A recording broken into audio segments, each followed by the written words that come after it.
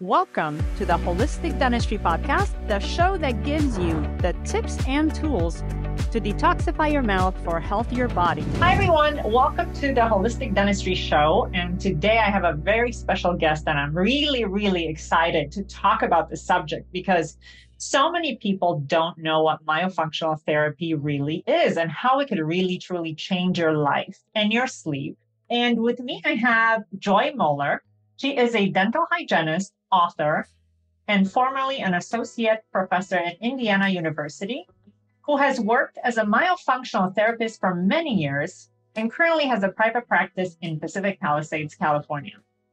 Joy is founding lecturer with the Academy of Orofacial Myofunctional Therapy, IOMT, and a founding board member of the AAMS, she has taught postgraduate courses in myofunctional therapy at universities and hospitals worldwide. Joy wrote a chapter in sleep medicine clinics, a chapter in sleep disorders and pediatric dentistry, and a chapter in management of obstructive sleep apnea, textbook for oral surgeons in 2021, and a children's book on tongue position, as well as many published studies and other chapters in textbook and a book that's soon going to be coming out Joy has lectured worldwide, was the first myofunctional therapist to be on staff at the Pankey Institute. She currently teaches at the Palo Alto School of Sleep Medicine and taught for seven years with UCLA Dental Sleep postgraduate program and the Pedo Ortho residency. Joy received a Lifetime Achievement Award from the AAPMD and a Louis Pasteur Award from the Association of Applied Myofunctional Sciences in Rome. Welcome to the show, Joy. So excited to have you. So excited to be here. Spreading so the yeah, definitely. So let's start with what is myofunctional therapy? Okay. Well, nobody knows about it, but I'll explain. It's myo is muscle, function is function of the oral muscles. We deal with 58 muscles of the head and neck and the function of those muscles. And we work on breathing, chewing, and swallowing correctly and eliminating habits. So many people have habits that they're not even aware of, like playing with their hair or leaning or biting their cuticles or uh, so many things. And we figure out why they're doing it and then work on that. It's all about the why. So, who are your clients? Is it uh, children, adults, or both? Young babies, all the way to my oldest patient was in his 90s. Oh, wow. Impressive. He didn't, he didn't like wearing a CPAP. So, we helped so, So, myofunctional therapy is really working with these 50 plus muscles of the face and kind of help them uh, be uh, like working synonymously together? Yeah, well, it's restoring normal function. What what's happened is people have changed, and there's um, a lot of research coming out uh, showing that breastfeeding done correctly long enough and eating more solid foods rather than baby foods like before 1930, there there was only people food. There wasn't baby food because we didn't have blenders.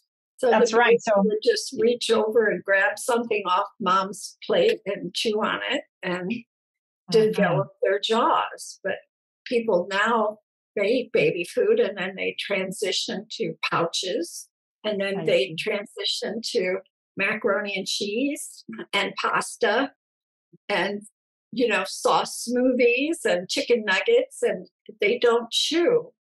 Yes, mm-hmm. absolutely. But let's go back to the hmm. yeah to the breastfeeding because this is so important and a lot of moms actually don't know that breastfeeding actually helps to form the jaws. Yeah. So that's why maybe we have so many kids nowadays doing orthodontics because they weren't breastfed long enough so, what is the norm with breastfeeding, and how long do we have to do it in order for the arches to develop properly? That's a great question. About 15 years ago, I worked in a an office with an environmental medicine specialist, and she introduced me to Chele Marmet, who was the lady who pioneered and conceptualized the whole field of lactation consulting. She said that uh, because I asked that same question when yes. should you stop breastfeeding? Well, the reality is you need to let the baby take the lead. Some babies at nine months, they don't ever want to look at another breast. And some babies need to go on to three years or even longer if they have allergies, because the breast milk will prevent allergies. Even if you just breastfeed once a day, you know, it helps. Mm. But uh, it's it's like mothers knew that for millions of years, and even as the child got older, they still would breastfeed a little bit, and they knew that breast milk helped the immunity. Absolutely. And a lot of moms might say, oh, you know what? I can get a bottle that basically mimics the breast and it's basically the same thing. Are we really using the same muscles when we? No, you can't fool Mother Nature because mm-hmm. when there's, um, when you're breastfeeding, the tongue is trying to strip the nipple and, and milk the nipple. When you're bottle feeding, your tongue is resting down and you're moving your jaws to get the milk out. I there not a bottle, a nipple made that will do what a mother's breast will. Absolutely. I agree with you. So it's so hard those... work. It's hard work. But mm-hmm. once the baby gets it it learns how to do it and the mother learns, the health it, the health parameters are so much uh, different for that person. So, so uh, if the baby's not breastfed, what do you see in terms of the formation of the jaws? Do you uh, like what well, are the signs? I'll show you on my little rubber mouth. This is the palate, and when the the breast is in here and the tongue is pushing, this area widens and grows and forms forward and wider. And when it's when it doesn't form, when there's no, when it's just a little a rubber nipple, this is what happens. That's right. You get crowding. High and narrow. There's not enough room for the teeth, and the the muscles in the back of the throat collapse. Mm-hmm. We call that the Mallampati score. The airway gets smaller, and then the child develops a mouth breathing habit. And when they breathe through their mouth, the mandible slips back mm-hmm. and they become a habitual mouth breather. They're not getting enough oxygen. And so they develop a condition called ADHD. Where How interesting. A lot of people don't wouldn't even associate breastfeeding to ADHD. But mm-hmm. clearly there's a connection there in the way our jaws get shaped from from breastfeeding. Yeah, I'll, sh- I'll show you. I have a good diagram here. It's really interesting. Mm-hmm. So, like, these are your teeth. This is the house for the tongue. This is where your tongue is supposed to rest. But if you're bottle fed or suck your thumb or do um, the mouth breathing, this is what happens. And the roof of your mouth is the floor of your nose. So as that collapses and gets narrower, people become mouth breathing. And so yes. what, what we do as myofunctional therapists is get the tongue to go up and help that arch to widen. So once you get somebody, let's see, that has this narrow palate or for the mouth, uh, through myofunctional therapy, you can change that shape again, correct? It's it's um it's form and function. You swallow 500 to 1,000 times a day with four pounds of pressure, 55 grams per centimeter. So if your tongue is going up over time, it's going to help to create a better form. Up to what age can you actually reshape these, uh, you know, facial? Even as an adult. I can show you pictures before and after of how patients have widened. It's a lot harder and certainly I'd like the help of orthodontists or functional dentists that can help, but that doesn't always happen. Sometimes it's we're on our own. People just want nat- nature to do it. They don't. They've already worn braces two or three times and don't want to do it again. No. So, what's the ideal age for a patient to get to you uh, to kind of help with this uh, well, I just saw, the I just saw a four-year-old that was okay. diagnosed with sleep apnea today on my schedule. Little little boy, Zachary, mm-hmm. And he's he's been working with me a while, and he's now sleeping. Amazing. Now, that's great. So that's around the, so around four and six years of age. That would be yeah. So three. I like to see okay. them at three.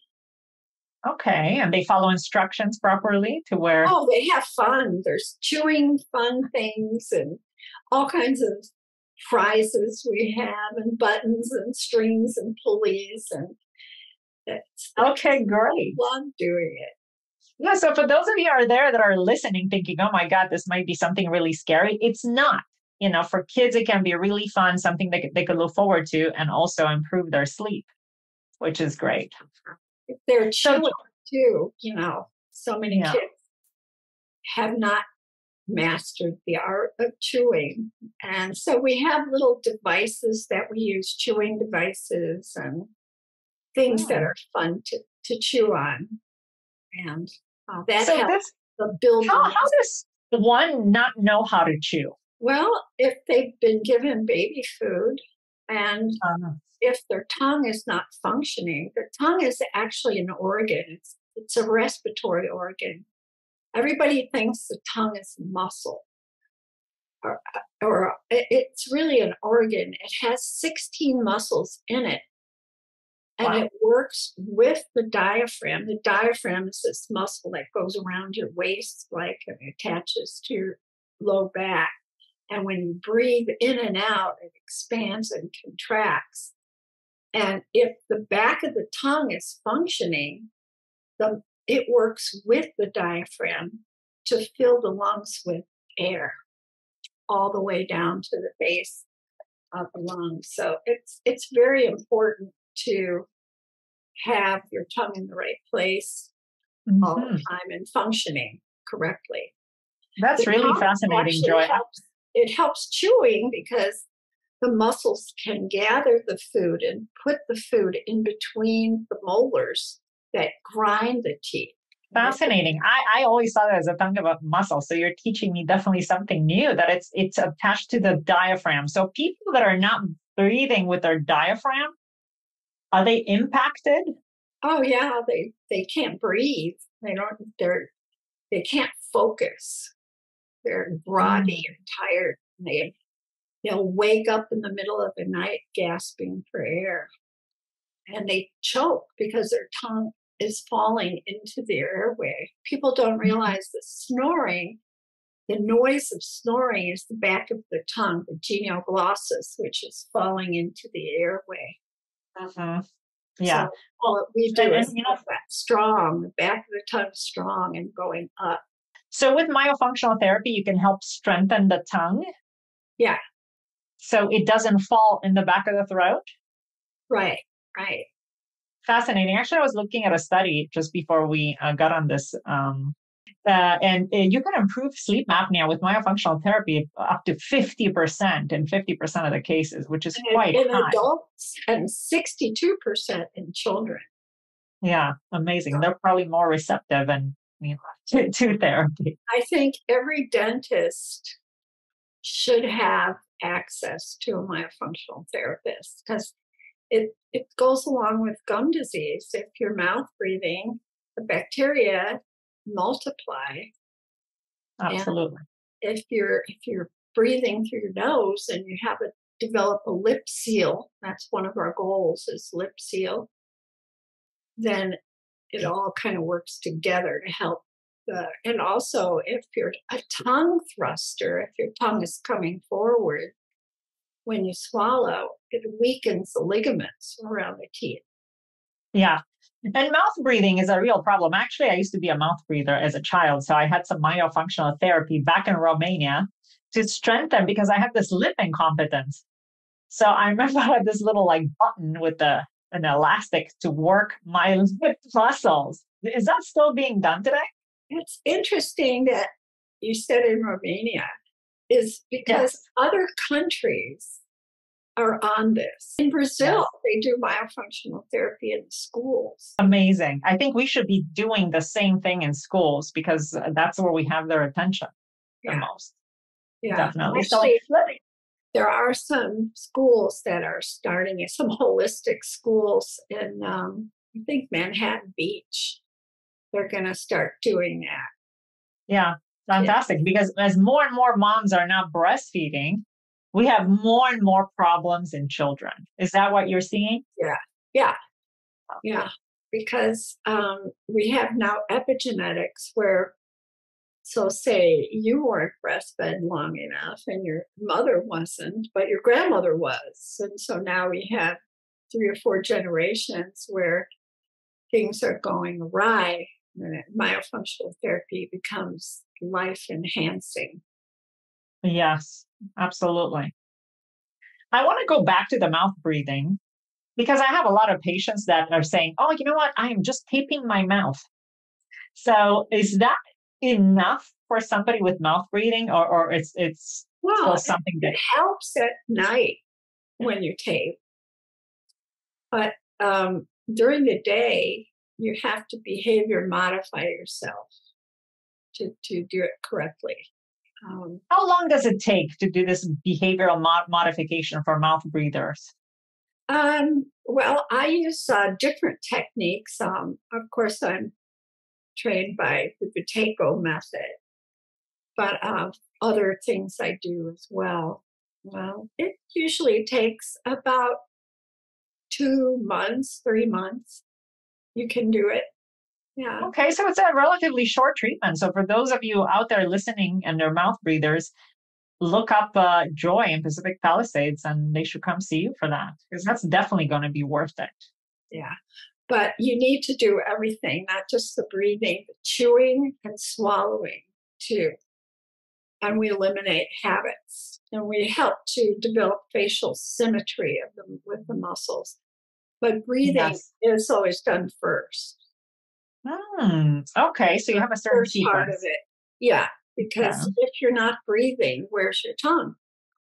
It's down. Oh, that's right. Well, so it's not used for chewing. Yeah, and chewing. Mm-hmm. Mm-hmm. Too many people now have smoothies and just not enough fiber in our diets. Yeah. Yeah, and I'm a big proponent of this. You know, like people need to have fiber. They need to eat a whole fruit, a whole vegetable. Absolutely. And if you're not chewing, the muscles here, the masseter muscles collapse. And then what happens is the, the gland called the parotid gland back here, when you chew, you're milking that gland. Mm-hmm. That gland secretes enzymes that help you pre digest your food in your mouth. Mm. So if you like smoothies, what I tell people to do is right before you turn it off, throw some nuts in there. So you have to chew your smoothie. That way you're getting the enzymes that help to break your food down. So many people have gut problems. Yes. Not chewing. That, I like that. Chew your smoothie. Definitely put something crunchy with fiber there. So don't fully blend the smoothie also to give you something to chew on. Yeah. Of course, your teeth have to be aligned pretty good to chew properly. Yeah. And what about the people who don't have back molars and they say, "Oh, you know what? I'm missing teeth. Who cares? It's fine. You know, I don't I don't need them." What yeah. would you say to them? You can you can use the alveolar ridge to chew. A lot of people, like in other countries, that have lost all their teeth. I, I knew a fellow that used to take his dentures out to chew because he could eat a steak easier with the bone. You know? With the bone than with the denture. Yeah. So, so true. Yeah. But uh, let's go back to how did you get interested in myofunctional therapy? How did you find out about well, it? Well, I was um, a dental hygienist and I taught at Indiana School of Dentistry. And I, I had two kids, and one of them had the issues. He was born a breech.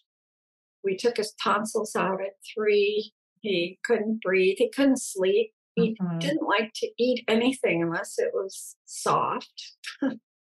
He couldn't chew. He had headaches. He had TMJ problems and wow. At the time, we lived in Chicago, a suburb of Chicago, and I took him to every doctor. Even I took him up to Mayo Clinic. Um, wow, how scary that must have been for you. Yeah, he wasn't sleeping. He, he his headaches were so bad. I would get a call from the school nurse saying, "He has another skull crusher. Come and get him." My and I, I tried everything, and then we got transferred. My husband got transferred to San Diego, and I started working in a holistic dental office. Great. And my eyes were open because at the Mayo Clinic, they wanted me to take him to a neurologist who wanted to do exploratory brain surgery on him. Oh my God. His headaches, his headaches were every day, you know, and he couldn't yeah. focus. He couldn't go to school. So um, I, when I we moved to San Diego, this dentist, I told him I might need some time off because my son may need some surgery on his brain, and he said, "What?" He said, "Let me take a look at him." Wow. Said, okay, and he said, "You know, his tongue is in the wrong place." I said, I never heard of such a thing. I mean, I taught in a dental school. Nobody taught me about where your tongue should be. He said, Yeah, it's supposed to be up in the roof. And he, his is down. He said, I just took a class in myofunctional therapy. I want you to do these exercises. And I'll have you see a osteopath that does the cranial work. There was only two in the country at the time. This was a long time ago. Wow. Yeah. We have a lot more osteopaths today, thank God. Yeah. yeah. And so I took him. Her name was Viola Frymann, and she was in San Diego. And uh, we started doing the exercises, and he made a, a little bite split for his mouth. Within three weeks, his headache stopped. That's amazing. And then he started eating. He would eat like two meals at a time. He was real small. He was failure to thrive kind of thing and he started eating like he was like there was no tomorrow. Amazing! What a great six story. Foot tall now, but it inspired me seeing him. His headache's gone. His jaw pain stopped. His, um, you know, he could focus. He could go to school. Yeah, I was like, I have to learn this, and that was a long time ago. Yeah, he's all grown up now. Is very handsome uh, somewhere yeah. here picture He was you know, there's no coincidences in life. You were meant to be in that office so you can learn this technique. He, he actually oh, very handsome. He went yes. on to be a model and an actor, and that's why I moved to LA to be closer to him. Oh, very nice. Doing great. So yeah, he's doing great. Very happy. And that's inspired amazing. me to study everything in the field. And I've written a lot of stuff. I actually did grand rounds at Mayo Clinic in Rochester, but I've now written a book that you'll see out in the next few weeks. So, yes, I'm excited about it. The name of the book is Is Your Tongue Killing You? Yes. and uh, what kind of things are you going to teach us in this book? Um, just chewing, breathing, swallowing, um, it, I have 10 co authors that wrote chapters in the book. Like there's an orthodontist and a periodontist and a, um, just all kinds of different, uh, a sleep medicine specialist. These are mostly my my patients that write okay. their story in it. So it's kind of cool, but yes. I'm excited about it because this book was written for the layman It's not an academic, you know, thing for, but it, we have a lot of citations, but it is written for the public. So I'm really. Yeah. I, I want to go back to sleep because so many people are not sleeping properly today. And um, uh, we have, uh, you know, diagnosis of sleep apnea, of course, and it could be mild, moderate, or severe. How do you work with patients with with sleep problems, and can you help all these categories? yeah, um, I would say a, mild to moderate, definitely. If there's severe sleep apnea, I can help them be more comfortable with the CPAP, or I can reduce it down to moderate. Yeah, it, it works because we're dealing with the cause of sleep issues. The cause is generally if they're not breathing right and, and not swallowing right, this whole mechanism here is not working right. Now, if they have central sleep apnea, that's we can't really do much for that. That's more of a brain thing, and they have to wear their CPAP. Or sometimes MMA surgery, maxillary mandibular advancement surgery helps. Okay. So, do you, when you have somebody with mild uh, sleep apnea, can you completely get rid of it? Yes. That's pretty incredible. Yes. Yeah, just by retraining. And how long does it take to to kind of uh, well uh, work? It's um, there's an intensive part that I would need to see the patient pretty much weekly for about three months, and then it would be that's the intensive, and then there'd be follow up to make sure it's going to last the rest of their life because we have to develop a new neuroplastic pattern from the brain to all these muscles so it becomes a habit. We start with working on isolating and activating all the 16 muscles inside your tongue. And then we go into chewing and swallowing and breathing using your diaphragm and the back of your mm-hmm. tongue to bring more oxygen in. Nice. Then we work on swallowing in your sleep correctly and posture. Posture is a big part of this because if you think of it logically, your head weighs as much as a bowling ball and your tongue weighs three ounces. So if your tongue is resting down and forward, yeah. it's just enough to cause the first three vertebrae to come forward and that puts a strain on your back. Okay, yeah. so posture is part of your uh, basically therapy. I studied, I studied with Mariano Rocabado, who's he's a physical therapist and an orthodontist in Chile, in Santiago, and he's written a lot of books. And he he said that you can't really change the posture until you change the position of the tongue. Interesting. I had no idea there was a correlation between the tongue position and your posture. Mm-hmm. Oh, yeah, because you're dealing with the cause of the problem. Your tongue is actually connected all the way to your feet with fascial tissue. And that's another thing. If that fascial tissue is restricted, we call it a tongue tie, or if your lips are connected wrong, then sometimes we need to enlist somebody like you to help release that. Yeah. Yes, yes, absolutely. And I know uh, you and I have had mutual patients together and uh, to release the tongue. And how often do you see tongue ties? Well, it used to be very rare when I first started. I would maybe see one or two a year. But now I would say at least half of my patients are either lip or tongue tied or both. And they don't know why. They think, you know, I work with a pediatric cardiologist who's seeing almost all of the babies born with tongue ties. And he feels it's plastic, that we are plasticizing our body. And, and also the air quality, the blue green algae in the air, it's our environment.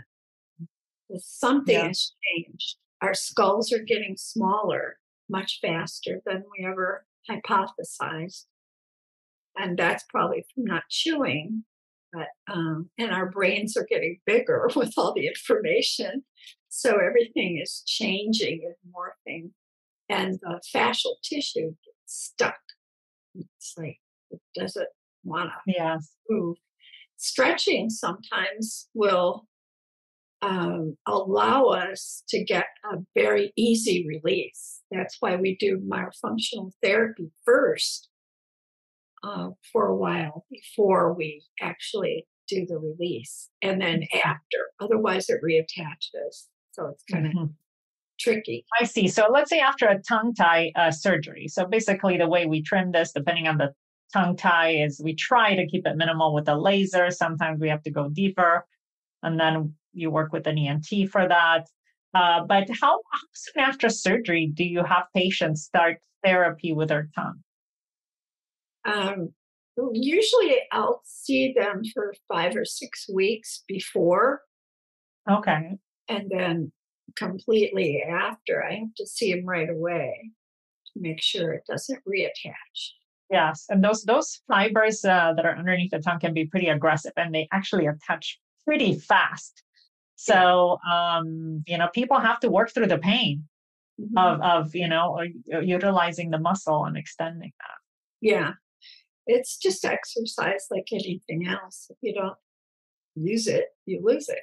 So, that is so true. what yeah. we do is we get the tongue so stretched that when the doctor finds the cord and releases it, the body knows how to react to that.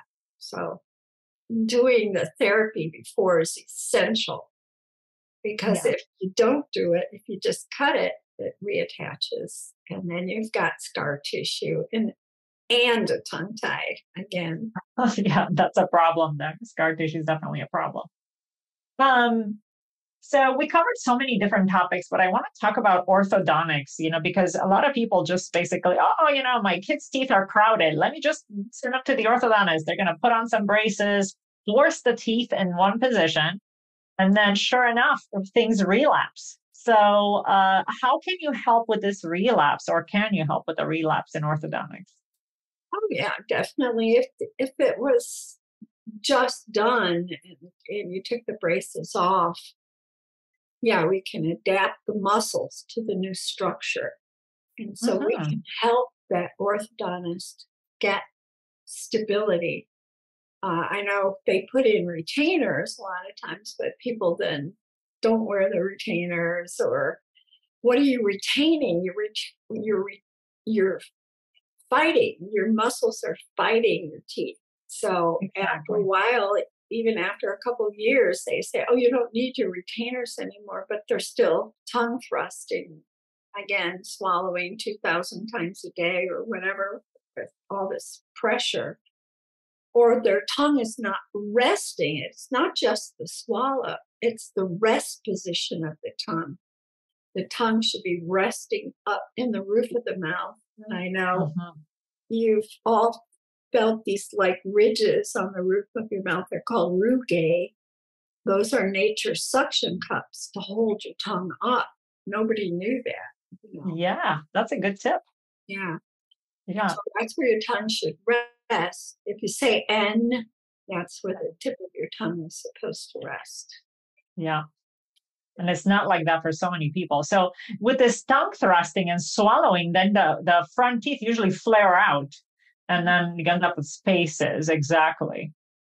Mm-hmm. um, uh, now in terms of starting therapy ahead of the orthodontic treatment would you recommend that? Or would you prefer it after the orthodontic treatment?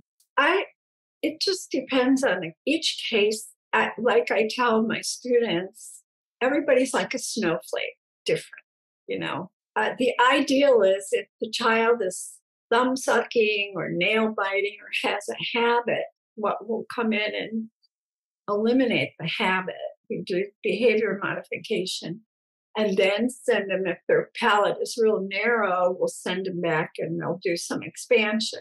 And then they'll, after the expander comes out, they'll send them back to us. And then we'll do the therapy to get the tongue up and get them breathing and getting their lips closed. And then we send them back to the orthodontist to maybe for some Invisalign or something to gently finish the case, and then they'll send them back to us. So we work back and forth to make sure that the tongue is adapted to the new structure. So that's the way it should be. I think every orthodontist should definitely have a myofunctional therapist in their office. Mm-hmm. I agree because it's only going to improve the results and uh, like the long term success of the treatment. Right. right. So, you know, I know some people listening to this podcast are not in California. They cannot send patients to you. So, how, how do they find a myofunctional therapist? Well, most myofunctional therapists today are working with telepractice. So, right. Uh, yeah, and there's two different organizations that have listings for therapists. One is the AOMT. If you go to AOMTinfo.org, and then it'll say find a therapist. There's a directory. And the other one is the IAOM, the International Association of Oral Myology. Mm-hmm. And then you could put your, try to find somebody in your area that way. Um, yeah, you want to find somebody certified. Most uh, myofunctional therapists are either speech pathologists, a dental hygienist, or dentists or um, occupational therapists or um, physical therapists, those four, or sleep techs now too.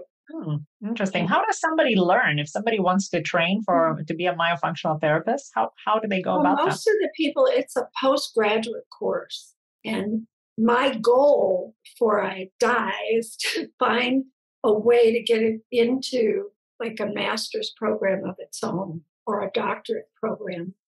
the doctorate program would be great because we have specialists for lungs or for heart or for orthopedics or we have so many specialists in medicine and dentistry.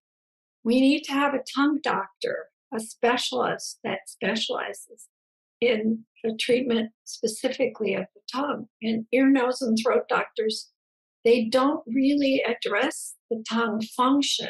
Absolutely. They, they can look at oral cancer or, you know, something like that, but they don't look at the whole function of swallowing and chewing and breathing. And speech therapists, a lot of times, they don't look at teeth. And physical therapists are taught to stay out of the mouth. It's not your scope of practice. And the occupational therapists, they learn the cranial nerves, but they don't learn about the muscles and the functions of the tongue. So, right now it's a postgraduate course. I know I teach with the AOMT, the Academy of Orofacial Myofunctional Therapy. And um, it's like a 58 hour postgraduate course of training. And you right. have to do like two case studies as part of it, of your certification and pass a test.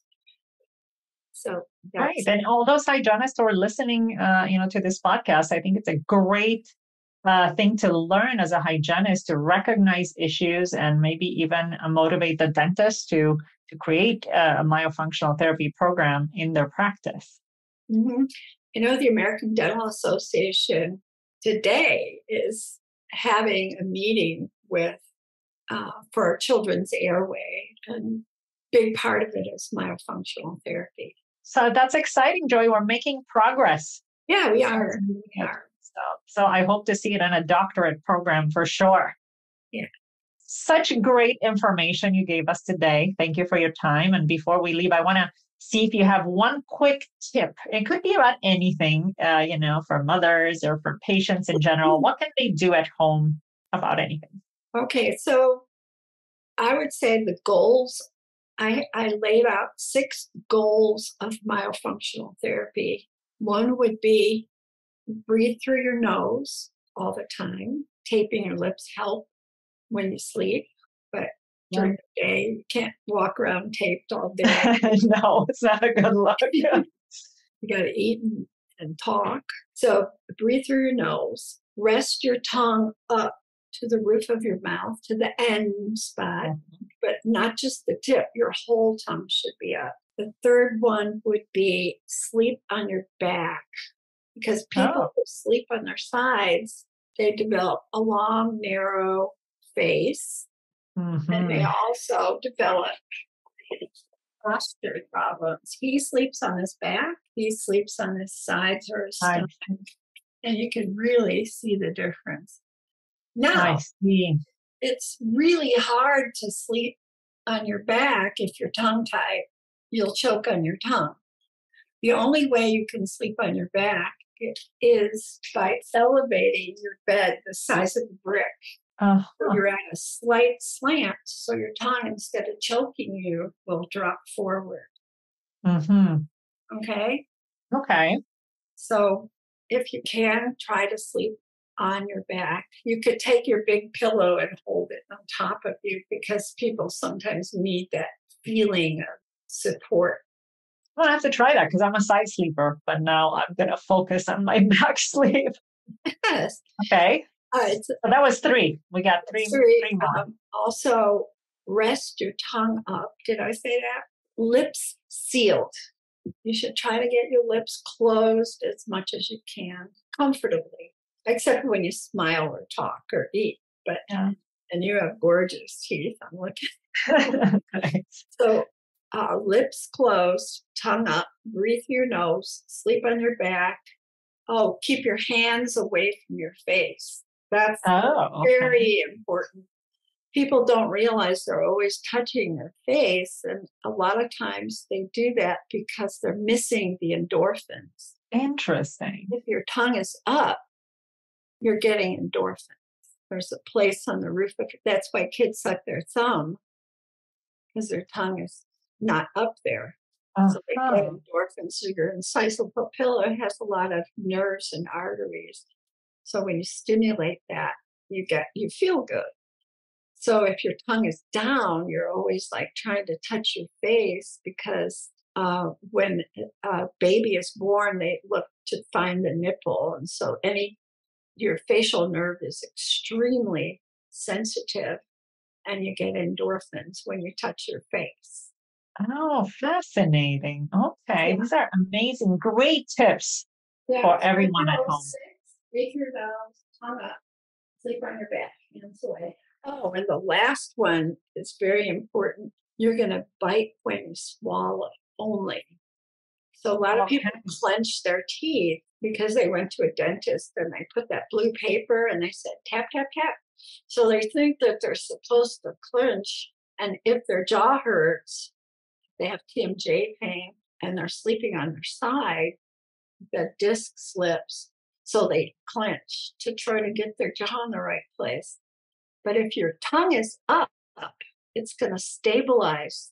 You don't have to clench. Okay, so any anybody with TMJ problems, we do this jaw stability exercises first to try to Okay. get these symmetrical. We teach them to chew on both sides. I use these little um, surgical tubing uh-huh.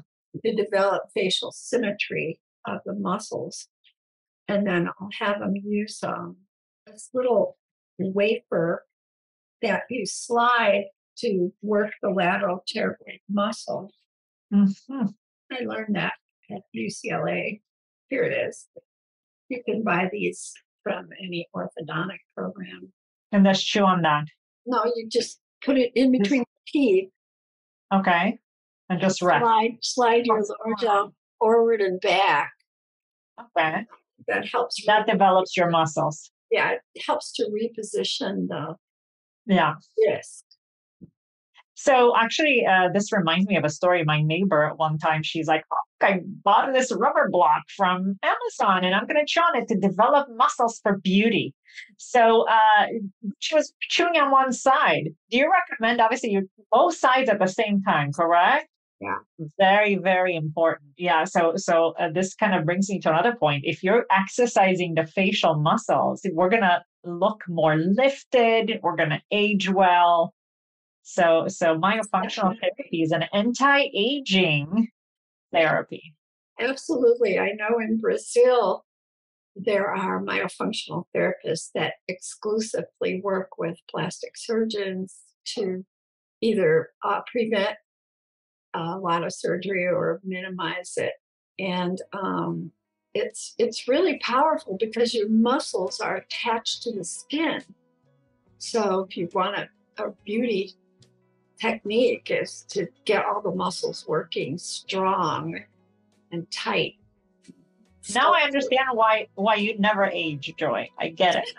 Oh yeah, if you ever come to a convention, I know you'll see myofunctional therapists. They're 90 and they look like they're 50 or 40. it's like unbelievable. I'm definitely coming. Yeah, definitely. So, uh, for everyone, we're going to post a link on the bottom where to find Joy's new book, Is Your Tongue Killing You? That's going to be on Amazon. And Joy, where can people find you? Um, I'm in Pacific Palisades, Joy Moeller, M O E L L E R. And you can contact my office, 310 454 9444. And uh, I could either find somebody in your local area if you want to see somebody in person, or if you want to do online, I can give you some names for that. Of course, I, if I'm still practicing, I'll do it as well. So thank you. Thank you so much, Joy. Have an amazing day. Thanks for the opportunity to educate. My pleasure. My pleasure. It's been super informative. I've learned a lot. Good. Okay. Thank you. Bye. Bye bye. Please make sure you check out the show notes for any links mentioned in the show. Do you have a question you'd like me to answer? Message me on Instagram at Dr. Sanda. This is Dr. Sanda, and remember, your mouth is the gateway to your health, so take care of it in the most natural and best way possible.